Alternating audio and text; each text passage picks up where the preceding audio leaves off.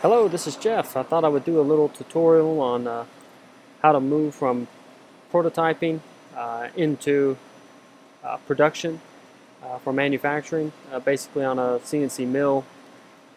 And I got a couple of uh, little strategies I use to help me keep the time down quite a bit.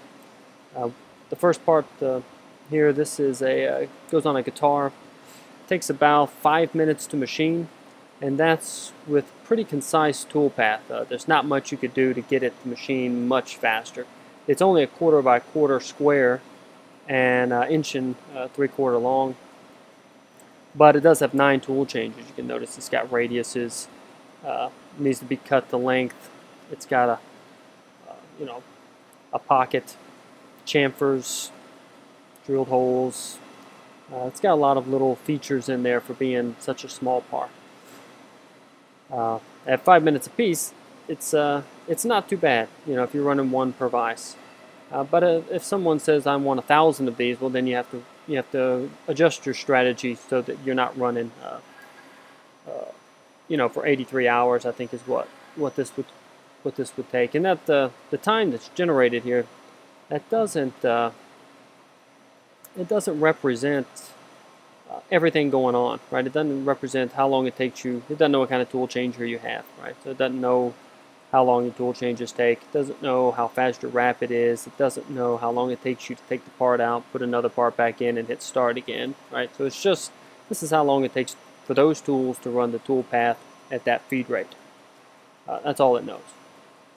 And it is going to be a very, very accurate time uh, minus those, those things. Uh, uh, the first thing that needs to be taken into consideration is uh, how you fixture it. We got a little segue here for that. Fixture design, right? Uh, I like to consider everything from when the material hits the floor to when the material uh, leaves done.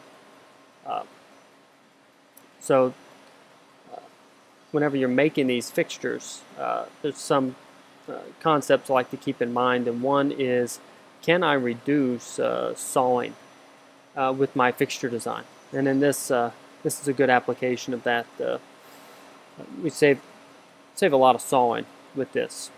Uh, not just sawing, but measuring each piece as they come off the bandsaw. Uh, we kind of push that out of the picture. And also handling each individual piece from moving them from the saw to where the machine is going to be at, keeping them orderly because they're falling all over the place or or whatever, and then handling each individual piece as they go inside the fixture, right? And making sure that you're going to clear on both sides. There's a lot of measuring, so we've cut that out over a third by leaving them long. So you're only handling uh, four pieces of material for this fixture instead of 12. Uh, you're not sawing 12 pieces of material, you're only sawing four. So uh, a lot of time saved there by, by this fixture design. Also, the way we bolt it up uh, we try to maximize uh, the amount of parts we hold per clamp. So in this uh, situation, this clamp can hold, uh, you know, every screw holds one part.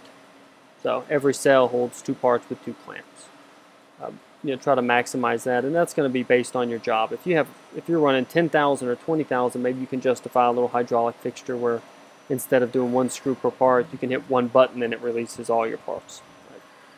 Uh, but for, for this job, we're just saying we're running about 1,000 parts. Um, that's about what we ran.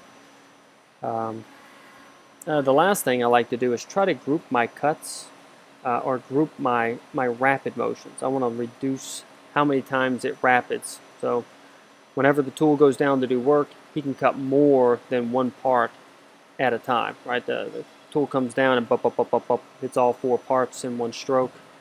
Um, you know, when it comes down to doing, uh, you know, any kind of motion, uh, he stays in the part longer.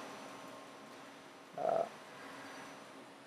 you know, for instance, um, you know, you know, every motion here is, uh, you know, he rapids down and he cuts four parts instead of one. So you're saving all the all the rapid time, all the machine uh, position times.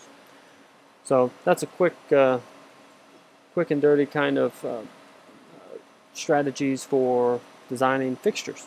So I hope that that was uh, a benefit to you, And uh, if you ever have any questions, let me know. I love to handle stuff like that, and I like uh, I like hard problems. anyway, thank you.